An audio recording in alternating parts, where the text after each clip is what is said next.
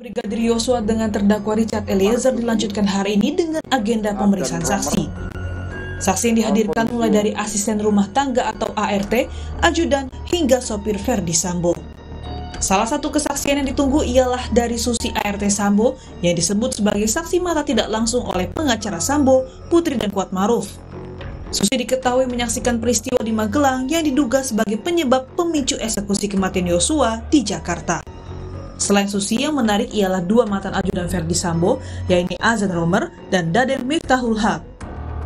Saat menjadi saksi di persidangan, adik Brigadir Yosua, Bribda Mahareza Rizky Huta Barat menyebut, Brigadir Daden sempat bertanya apakah dirinya membawa senjata api saat akan menuju Biro Provospori seusai tewasnya Yosua. Tak hanya itu, Brigadir Daden juga menggeledah pakaian dan jok sepeda motor Reza hingga membuat adik Yosua ini curiga. Kekasih Yosua Vera Simanjuntak juga menyebut pada tahun 2019, Yosua pernah mengatakan ada masalah dengan Brigadir Daden. Saat saya bertemu dengan Bang Daden, Ya, Daden. saya kan masih pakaian preman, masih pakai Itu di Saguling ya? di Saguling. Saya berpakaian bebas, dia langsung saya, saya sapa duluan, Bang, saya bilang gitu. Bang ini saya ke Biro Propos nih Bang, saya bilang gitu kan. Eh, kok kamu masih pakai pakaian preman katanya gitu. Pedal kamu mana katanya. Oh iya bang, pedal saya lagi di laundry, saya bilang gitu. Masuk laundry semua nanti saya ambil. Emang udah selesai? Udah bang, tadi saya telepon orang laundrynya udah selesai, tinggal ngambil aja. Oh yaudah, eh, kamu bu sempi nggak? Nah, waktu dia nanya gitu, dia langsung menggeledah badan, pinggang saya sampai kaki, sama uh, beliau suruh buka jok motor sampai ngecek ada sempi atau enggak. Habis itu nggak ada, nggak ada. Bilang gitu, nggak ada kan bang, saya bilang. Oh ya, yaudah buruan lah ambil. Ada curiga nggak saudara? Situ saya ada feeling kayak, "Loh, kenapa gitu. Saya pikir, Pada saat digeledah itu saudara Iya. udah ada feeling, tapi saudara nggak tahu belum apa. tahu apa-apa yang mulia. Oke, terus? Kenapa gitu, yaudah. Yaudah buruan lah, ambil laundryan. Katanya kan, di mana? Di Jordan bang, saya bilang gitu, Jordan laundry. Yaudah buruan nanti kalau emang nyampe Biro Propos, kabarin saya katanya gitu. Pengacara Eliezer Unita Lapesi berharap pada saksi fakta yang akan dihadirkan hari ini agar berkata jujur dan tidak memocokkan kliennya, terutama saksi Susi yang merupakan asisten rumah tangga terdakwa istri Sambo. Roni menyebut akan fokus untuk menggali keterangan saksi terkait suasana dan kebiasaan di rumah dinas Sambo untuk memberi gambaran jelas bagaimana kliennya diperintah oleh Sambo untuk menembak Yosua. Khawatirkan adalah eh, keterangannya berbelit-belit, kemudian keterangannya tidak konsisten, kemudian keterangannya cenderung memojokkan klien kami. dalam Itu hal yang panitia, itu yang kami khawatirkan dan ada beberapa catatan juga saksi yang menjadi ART itu akan kami gali informasinya bahwa mereka sebenarnya mengetahui seperti apa, pastinya kami akan gali. Dan kami rasa bahwa di konsen kami mengenai situasi di Saguling dan di Duren Tiga, kebiasaan mereka seperti apa, itu akan kita gali. Tapi kita ingatkan ya, supaya saksi ini berkata jujur. Hati-hati, jangan sampai bersaksi palsu. kalau Ibu Putri Sidang Eliezer hari ini melanjutkan sidang pada 25 Oktober lalu yang menghadirkan orang tua, kerabat, dan kekasih Yosua. Tim Liputan Kompas TV. Saudara 12 orang saksi akan kembali dihadirkan dalam persidangan kasus pembunuhan Joshua dengan terdakwa Richard Eliezer. Mulai dari asisten rumah tangga hingga mantan ajudan Verdi Sambo akan memberikan keterangannya terhadap Richard Eliezer. Lalu apa saja fakta-fakta yang akan dihadirkan dan apa sebenarnya seperti apa gambaran dari kejadian yang terjadi di Magelang hingga kemudian berujung di Jakarta dengan kematian almarhum Joshua. Kami hadirkan dialognya menjelang eh, jalannya sidang pada hari ini dengan dua narasumber yang hadir secara daring untuk Sapa Indonesia Pagi. Ada kuasa hukum Richard Eliezer, Roni Talapesi, serta kuasa hukum dari keluarga almarhum Brigadir Joshua, Martin Lukas Simanjuntak. Bung Martin, Bung Roni, selamat pagi, salam sehat untuk kita semua.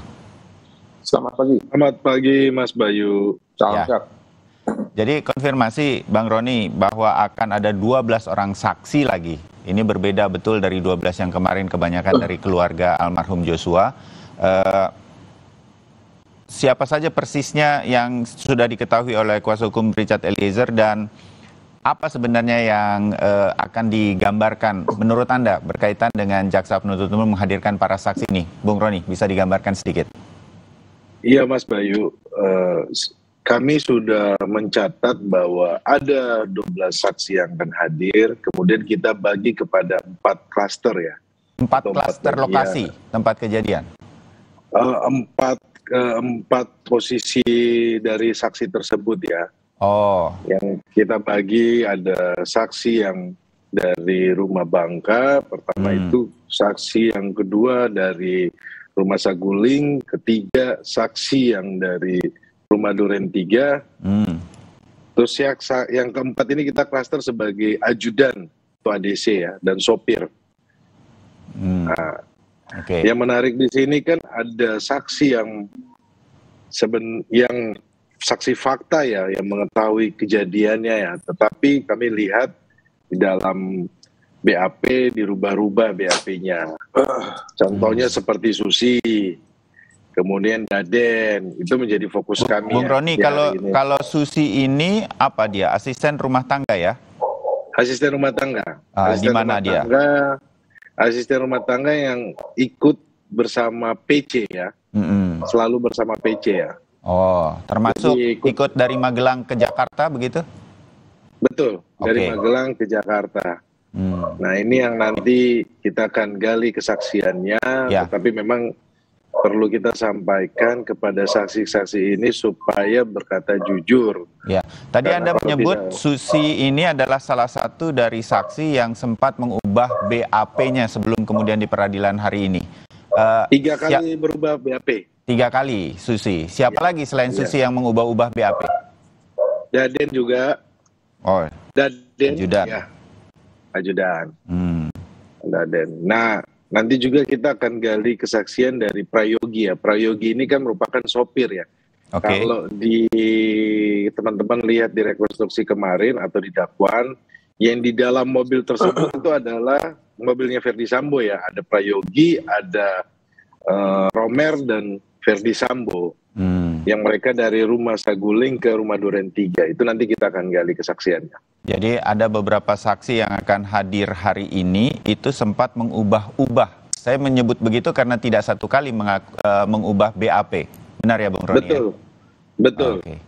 Ya, Betul. di- diharapkan di dalam peradilan kali ini inilah fakta yang sesungguhnya eh, kalau bisa tidak lagi berubah. Makanya Anda berulang kali dalam beberapa kesempatan mengatakan diharapkan kejujurannya karena sebagai saksi di peradilan sudah diangkat sumpah.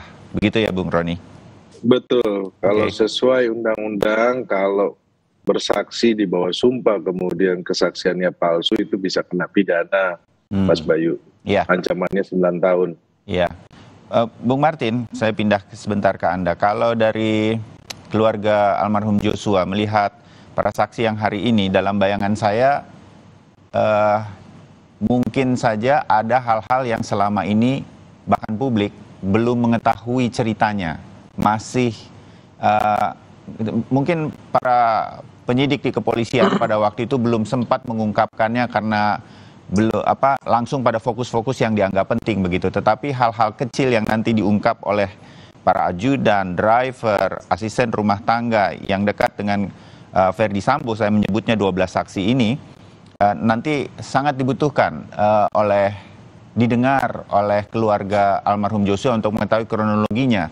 Apa pe- pecahan-pecahan puzzle-puzzle yang mungkin bisa tersambung sedemikian rupa. Anda harapkan seperti itu juga, Bung Martin? Saya lebih melihat kita harus bersiap dan harus lebih berhati-hati kepada para saksi ini ya. Hmm. Seperti contoh ya, eh, Susi, lalu eh, Daden, lalu Damianus, lalu Alfonsius, Prayogi, dan Romer. Mereka ini adalah orang yang terbiasa menerima uang ya, baik dalam bentuk upah ataupun rewards selama eh, Putri Chandrawati dan juga eh, Ferdi Sambo mempekerjakan mereka.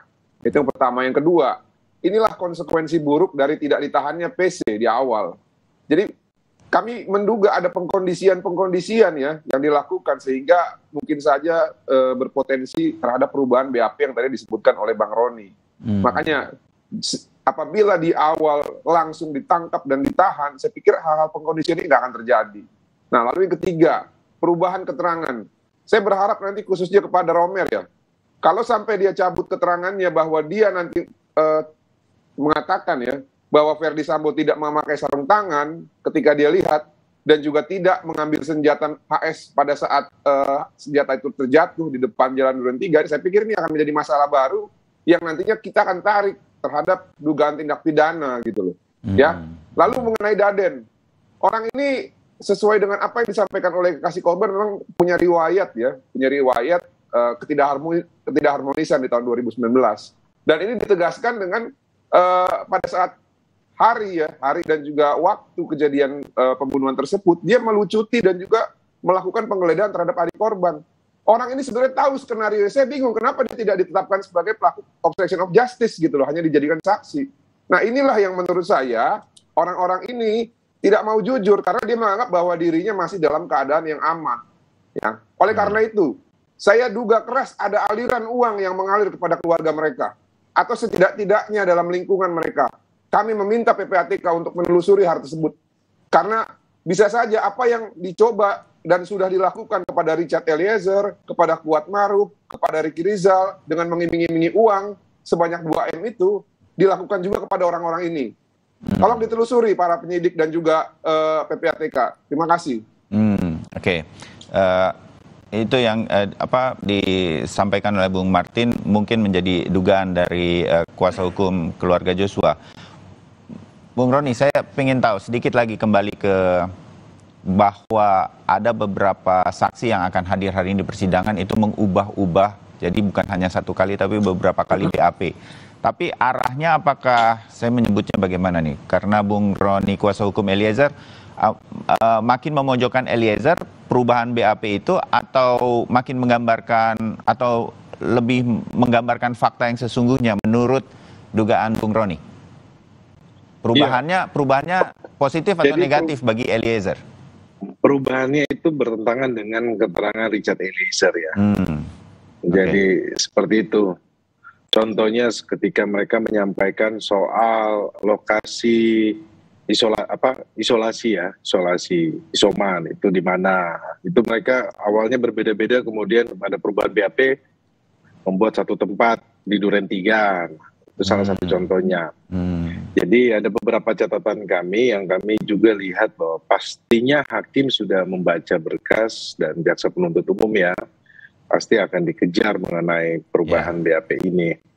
Nah, tetapi yang perlu kita sampaikan di sini kan karena saksi-saksi ini kan masih bekerja, bekerja jadi untuk uh, tersang apa terdakwa FS pastinya kan mereka akan lebih condong kepada keterangan kepada pembelaan terhadap FS ya. ya Tapi kami okay. kami pikir bahwa nanti hakim akan melihat ya lebih jauh lagi kan pastinya tinggal dan tentunya kami juga sudah mempersiapkan pertanyaan-pertanyaan dari hmm. tim yang kami sudah susun dan kami sebentar siap untuk menanyakan kepada saksi dan kami akan menggali hmm. karena ada beberapa perbedaan antara saksi yang satunya dengan saksi yang lainnya tentunya kami akan gali keterangannya tapi yang yang kami fokus juga itu adalah kesaksian saudara Romer ya karena saudara Romer itu kan dia menyampaikan dia ada perubahan, tetapi sempat ditanyakan kenapa ada perubahan. Hmm. Kemudian karena perubahannya itu dari yang skenario yang awal ya